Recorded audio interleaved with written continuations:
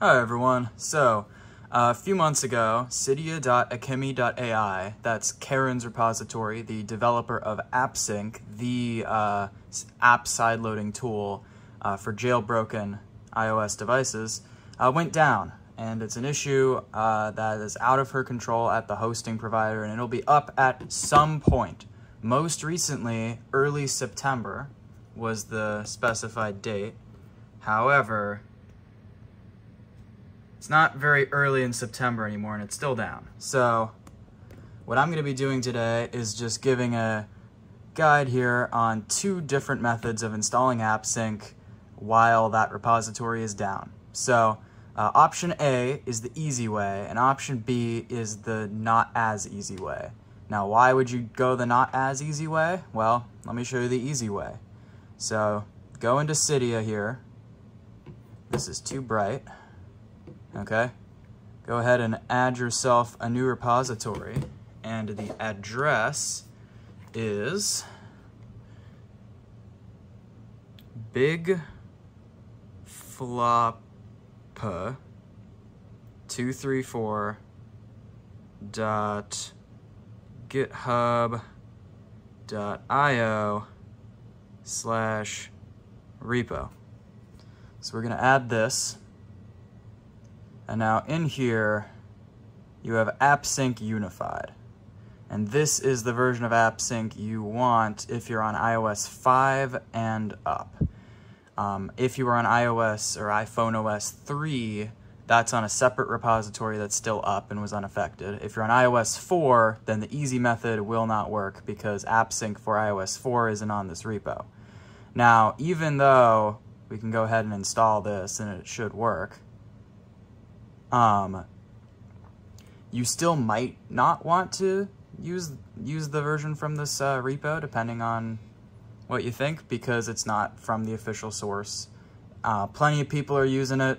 Uh, it's seemingly correct and fine and working. However, if you're having issues or if you just would prefer to have it from the official source, um, what you can do, the hard way, is uh, install the deb file, that's Debian package, the type of file format that jailbreak tweaks are distributed in, you can install that manually and download straight from the Wayback Machine from uh, the repo that's down.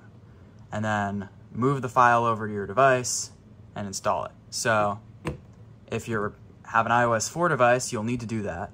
Uh, and if you have an iOS 5 and up device, you don't need to do that, but you might still want to. So here's how you do that.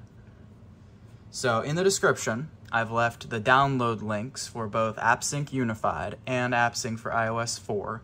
Um, I also have them in Notepad here on my computer. You can see these are just web.archive.org going to cydia.akemi.ai. Um, and those links will be in the description, along with this URL. And so you can just go to go on your PC and download these, and then you'll want a couple of different programs on your computer. You'll want iTunes, the latest version of iTunes, and you'll want the version that is not from the Microsoft Store. Honestly, depending on what device you have, that, that version of iTunes may work here, but I never recommend it because it breaks a bunch of tools that rely on iTunes as drivers for iDevices, so just don't use it. It's a bad idea. I'll leave the right iTunes link in the description. So make sure you have that installed because iTunes includes the drivers so that your computer can talk to the phone or the iPad or the iPod. Um, and then you'll also want to download a tool called iExplorer, also linked in the description. I've been using iExplorer for years now. Uh, there's a paid version, but you don't need it for this. Um, I've never even bought the paid version. It just allows you to do some additional file transfery things and browse iTunes backups and stuff like that. Just a useful little utility. And all we're gonna do here is just make sure you have the device plugged in. There's my iPhone 5 on iOS 7. Uh, then go to media folder here, and you could just go anywhere. I'll just go in DCIM, which is the image folder. It really doesn't matter. Right click, add files. And then from here, I have the two deb files downloaded. I'm gonna go with AppSync Unified since we're running iOS 7. And then it pastes it right in. And then we're done here. Yay, messy desk. All right, so back on the device here, you'll now want to download one of two file managers. On newer versions of iOS, uh, you can use Filza, which is the newer file manager. Um, I it, it, doesn't work out the box in iOS 7. You have to do a couple little tricks to get it working on iOS 7. I have a video on that um, if you want to do that. But if you're on a version where Filza is giving you trouble, uh, you can use iFile as well, which is like the older tool. And you'll definitely need iFile on anything pre-iOS 7.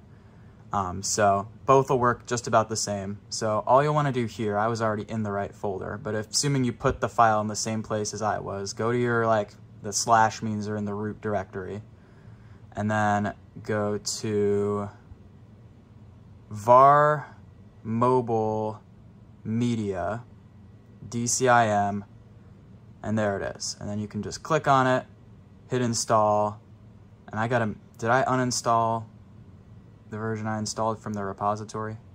I did not. Respring. Okay, okay. So, you can go here, install, it'll do it, and then it won't pop up a message saying it's done. It'll just eventually finish and you can hit done. And then that's that.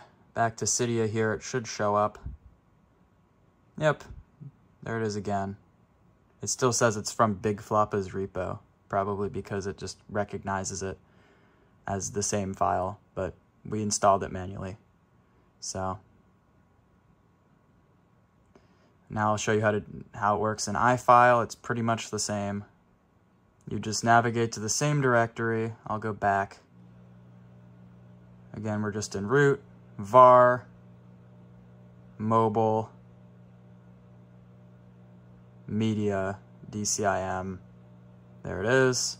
Then you'll want to hit installer. And then again, finished, hit done. And uh, should again show up in Cydia. Yep. So there you go. Um, that's how you do it both ways. And uh, it should work pretty much the same on any iOS version. Just make sure you use an AppSync for iOS 4 if you're on iOS 4. Um, and also make sure with AppSync Unified that you just do a restart after installing it because sometimes it needs to uh, restart a full device restart um, in order to start working. So make sure you do that and then you're good to go. And if you want the rest of the process of side loading you can go to my like second most viewed video which is a tutorial on how to do that. This is mainly just an update for that hopefully a temporary one while uh, Akemi is down. So hope this was helpful. Uh, I'll see everyone uh, later